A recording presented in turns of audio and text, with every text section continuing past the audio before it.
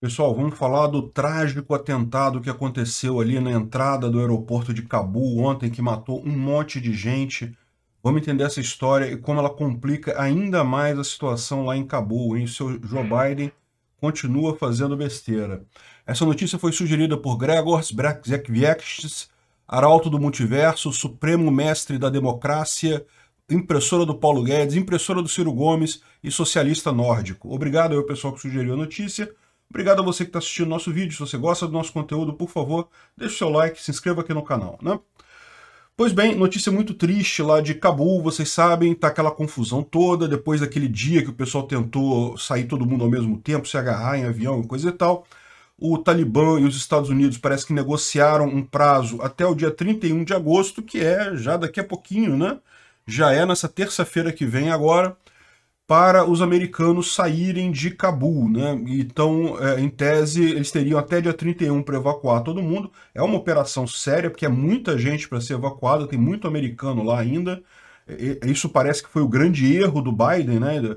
Se, se, se eles sabiam que o Talibã iria tomar o Afeganistão tão rapidamente depois que eles saíram, veja, eles não sabiam que seria tão rápido, mas eles achavam que seria até o final do ano. Mesmo assim, se você tem essa perspectiva de até o final do ano o Estado está na mão de um inimigo, era para eles já terem iniciado a evacuação desse pessoal antes de, de tirar o, os militares de lá, né? Enfim. Mas, de qualquer forma, é, o que está acontecendo lá? Né? Tá uma fila muito grande de gente para entrar no aeroporto. Não só os americanos, outras nacionalidades, ingleses, australianos, tem um monte de gente de outros países também sendo evacuada como também afegãos que querem sair do, do Afeganistão. E o que aconteceu ontem foi uma duas explosões de homens-bomba próximas da chamada Abbey Gate, que é uma das entradas do aeroporto. Né? São, são três entradas do aeroporto de, de Cabul. É, essa entrada particularmente, estava uma fila de gente querendo entrar, é, dois homens-bomba se explodiram, né, mataram um monte de gente em porto, e parece que além disso, um grupo com metralhadoras depois abriu fogo contra a multidão. Então, quem sobreviveu à explosão ainda teve metralhadora depois, né? Foram mortos 18 eh, membros das Forças Armadas Americanas, eh, desculpa, 13 membros foram mortos, 18 foram feridos. Parece que os feridos eh, já estão sendo transportados para fora de lá em, em, aviões especiais, aviões ambulância. E muitos, muitos afegãos. Muita gente foi morta ali que era do, da própria, do próprio Afeganistão e que estava ali tentando sair também. Aliás, isso é um ponto que é, o, o, próprio líder do Talibã falou que está temendo uma, uma, fuga de cérebros, né? Porque, lógico, qualquer pessoa que tenha cérebro no Afeganistão nesse momento quer sair de lá, né? Evidentemente. E, e o que está acontecendo é isso. O pessoal está indo para o aeroporto querendo embarcar junto com os estrangeiros. Só que os afeganistões, o, o, o Talibã falou que não quer, não vai deixar essas pessoas saírem. Afegãos não podem ir. Isso é um problema bastante sério, porque, como eu falei para vocês, existe teme-se, né, que exista uma, um grande revanchismo por parte do Talibã contra pessoas, contra afegãos que ajudaram é, a, durante a ocupação americana, né? Pois bem, agora a grande questão da coisa é, aqui também é mas é a mesma coisa, olha só gente, é, eu não vou mostrar as imagens aqui não, tá? Se vocês quiserem ver as imagens tristes, é uma coisa, tem cada imagem, cada vídeo, coisas terríveis, tem imagem, tem vídeo da explosão, tem vídeo dos corpos. Eu, eu aconselho vocês a não fazerem isso, mas quem quiser, vai no Twitter, busca, busca Kabul Explosion, tem vídeos, tem fotos, é muito triste. Eu não vou mostrar aqui porque o YouTube iria brigar comigo, e, e também eu não quero, realmente... Bom, o ponto central aqui é o seguinte, foi... É, esse ataque suicida foi feito pelo chamado ISIS-K, que é um grupo do ISIS que fica ali no Afeganistão. Eles estavam, eh, não estavam eh, eh, executando nada enquanto os americanos estavam lá, mas agora que o Talibã tomou o poder, parece que esse grupo terrorista voltou a ter força por lá, né? Agora, segundo está dizendo a matéria da CNN aqui, eu não sei até que ponto isso é verdade, o ISIS é inimigo do Talibã. O Talibã é aquele negócio, né? É, é um monte de grupo terrorista que tem ali na região, um monte de grupo é, radicalista, os dois são radicais, os dois são é, fundamentalistas muçulmanos, mas são inimigos entre si. É, parece que o ISIS é mais fundamentalista ainda, ou alguma coisa assim, eu não sei, é só, é só diferença de ideologia. É, então parece que foi executado, não foi, não foi o Talibã que causou a coisa, foi o ISIS-K. Por esse motivo, o Biden falou que vai continuar a, a, a retirada dos americanos lá, não vai mandar mais soldados para o Afeganistão, não vai retomar o Afeganistão, porque ele entende que quem causou o problema não foi o, o, o Talibã, foi o ISIS. E, aliás, está cogitando, estão falando até em fazer, ele, tá, ele falou até em falar em fazer uma aliança com o Talibã contra o ISIS. Olha só que coisa. Os caras invadem um país por 20 anos para tirar a ameaça do Talibã. E agora, no dia que eles saem de lá, eles falam, ah, não, vamos fazer é, amizade com os, com os Talibã por causa do ISIS, que é pior ainda. E detalhe, o ISIS surgiu justamente quando eles saíram do Iraque. Então os Estados Unidos parece que tem um, um modo, né, um modo opera de operação. Né? Ele vai lá, invade o país, cria uma resistência ultra radical, não sei o que lá.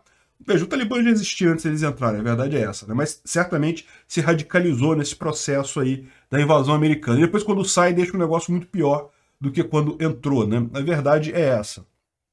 É o que eu falo para vocês. Violência não resolve nada. Esse tipo de coisa, ah, é ruim, coisa tal, é terrível, é verdade. Violência pura não resolve nada. O que resolve é economia e informação. Isso resolve coisas. No longo prazo, né? No curto prazo tem coisas que não tem solução. Bom, enfim, é, a situação do Biden lá nos Estados Unidos ficou ainda pior, como vocês podem imaginar, com esse tipo de, de ação, né? É, ele está sendo ainda mais criticado. Repara, até a Folha de São Paulo já está seguindo a, a dica das, das, emissoras americanas. Né? A, a, mídia tradicional socialista brasileira, vocês sabem, lambe-bota da mídia tradicional socialista americana. Né? Então já está aqui eh, fazendo também, atacando o Biden, como está toda a imprensa americana. Eu fiz um vídeo lá no Visão Libertária, quem não viu, eu recomendo que veja, que a mídia abandonou o Joe Biden.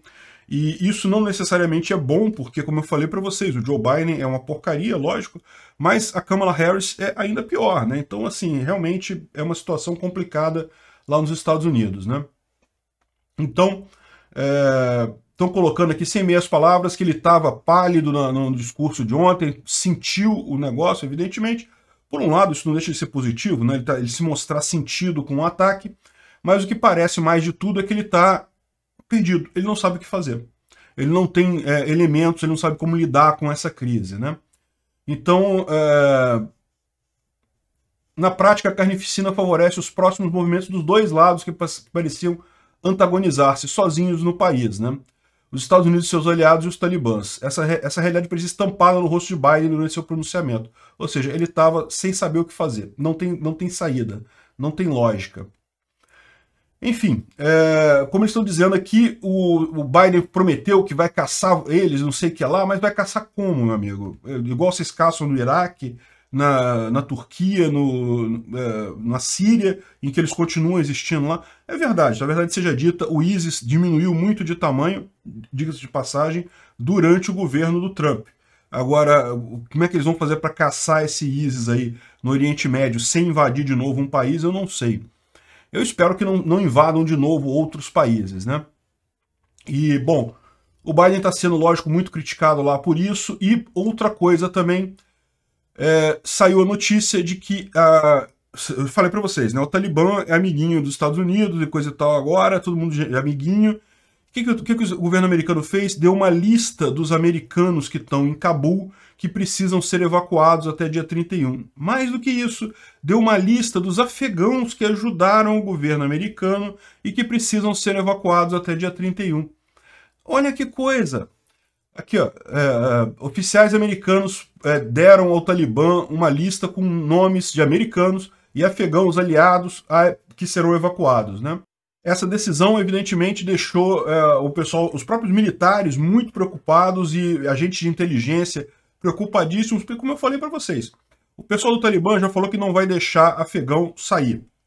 Então, esse pessoal agora, o Talibã sabe quem são os aliados americanos. O governo americano deu uma lista com o nome das pessoas para o governo Talibã.